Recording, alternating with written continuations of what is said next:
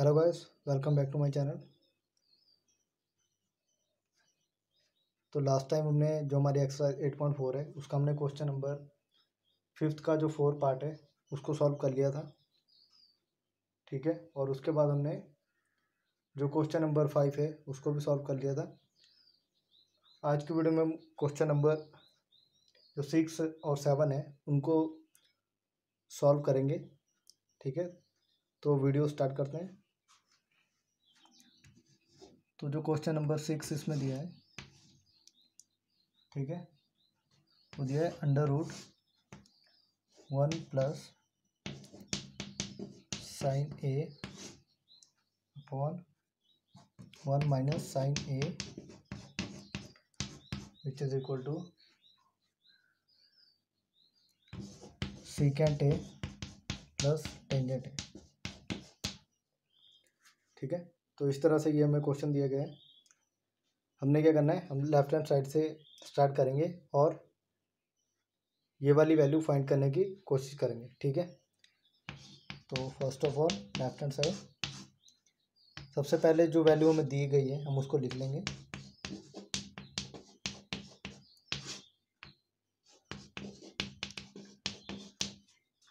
ठीक है? उसके बाद हम क्या करेंगे? जब भी आपको अंडर रूट वाले कोई कोई भी क्वेश्चन दिया हुआ होगा, आपने उसका परिमेयकरण कर देना है, ठीक है? मतलब रैशनलाइज कर देना है नंबरों को, ठीक है? तो जो भी नंबर नीचे दिया होता है, उसका ऑपोजिट नंबर ऊपर लेना होता है, ठीक है? जैसे यहाँ पे वन माइनस साइन ए है तो हम ऊपर क्या करेंगे? और नीचे हम वन प्लस साइन ए से यहाँ भी मल्टीप्लाई करेंगे और यहाँ भी मल्टीप्लाई करेंगे, ठीक है? इसको इस तरह से करेंगे।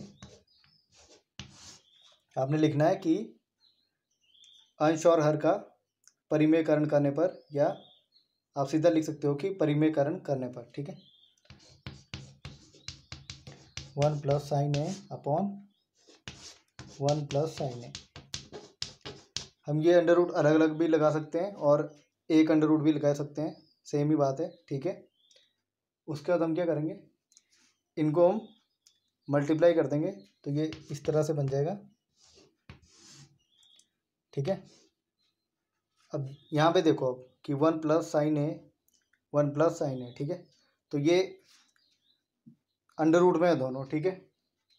जब हम इनको मल्टीप्लाई करेंगे तो ये अंडर रूट है जो, वो हट जाएगा, ठीक है? ठीक है? तो ये अंडर रूट हट जाएगा तो हमारे पास बचेगा वन प्लस साइन ए, ठीक है?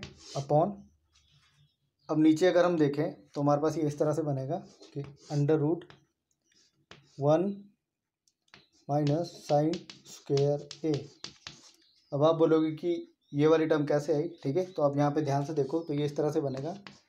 A plus B into A minus B ठीक है, जब हम इनको मल्टीप्लाई करते हैं तो ये इस तरह से बनता है A square minus B square ठीक है तो हमने उसी का ही यूज़ किया है। तो हमारे पास आएगा A square minus B square. ठीक है? और इस वाली टर्म को हम चेंज कर देंगे, ठीक है? वो कैसे करेंगे? अब यहाँ पे देखिए, जैसा हमें पता है कि sine square A plus cos square A is equal to one होता है। ठीक है? तो यहाँ से हम कॉस स्क्वेयर ए की वैल्यू निकालेंगे तो वो आएगी one minus sine square A. इस वैल्यू को यहाँ पे देखिए one minus sine square A तो इसकी जगह हम लिखेंगे कॉस स्केयर ए ठीक है? तो ये इस तरह से आ जाएगा one plus sine A upon अब अंडर रूट में कॉस स्क्वेयर ए है, ठीक है? तो जब अंडर रूट हटाएँगे तो ये कॉस बन जाएगा कि one plus sine A upon cos है ठीक है? तो अब हम क्या करेंगे? इनको हम अलग अलग करके लिखेंगे और हमारा आंसर आ जाएगा। ठीक है? इसको करते हैं। हमारे पास दिया है। One plus sine A upon cos A. अब हम इसको अलग अलग करके लिखेंगे। ठीक है? तो यह इस तरह से आएगा। One upon cos A plus sine A upon cos A तो वन अपॉन जो कॉस ए होता है, वो हमारा सिग्नेट होता है। प्लस साइन अपॉन जो कॉस है वो हमारा टेंजेंट होता है। ठीक है? तो यही हमें प्रूव करना था। तो आप इस तरह लिखोगे left hand side is equal to right hand side ये वाला क्वेश्चन बहुत ही आसान है, इसमें कुछ भी नहीं करना था आपने आपने सिर्फ़ इसका जो परिमेयकरण है, वो करना था, ठीक है?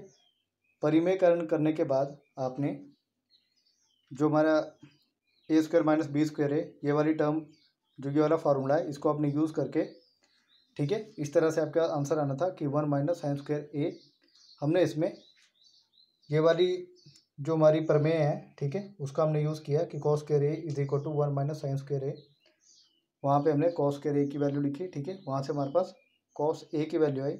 उसके बाद हमने इसको अलग अलग करके लिखा, ठीक है? और हमारे पास जो फाइनल आंसर था वो आ गया। ठीक है? और इसी के साथ अब हम जो हमारा नेक्स्ट क्वेश्चन है उसको भी कर लेते हैं। छोटा सा क्वेश्चन है वो भी। क्वेश्चन नंबर हमारा सेवन है।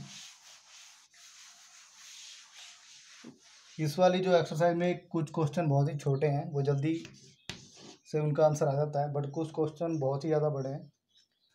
तो जो सेवन्थ क्वेश्चन है, उसमें है sine theta minus two sine cube upon two cos three cos theta which is equal to tangent theta ये हमें प्रूव करना है।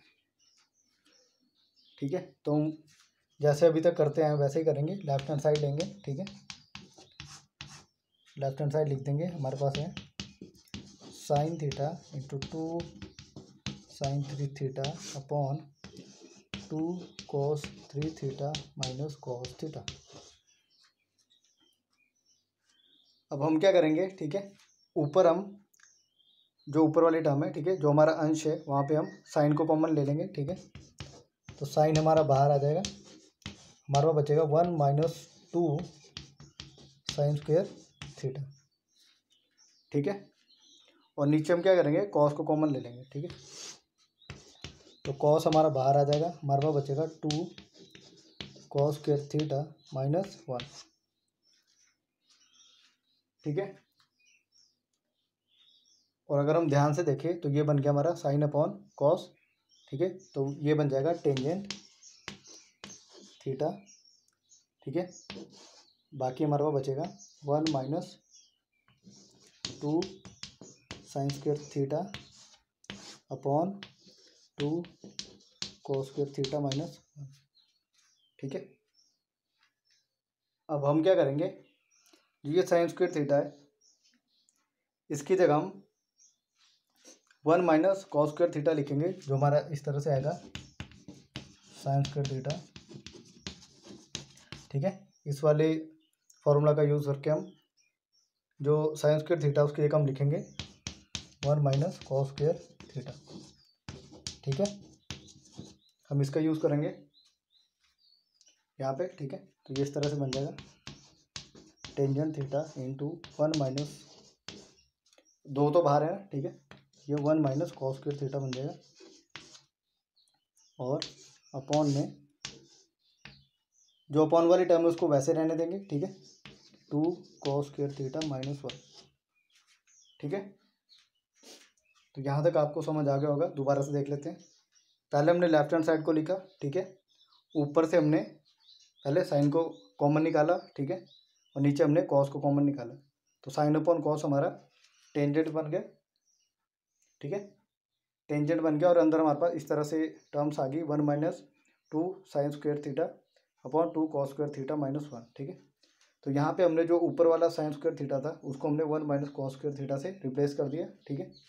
अब इसको आगे करते हैं।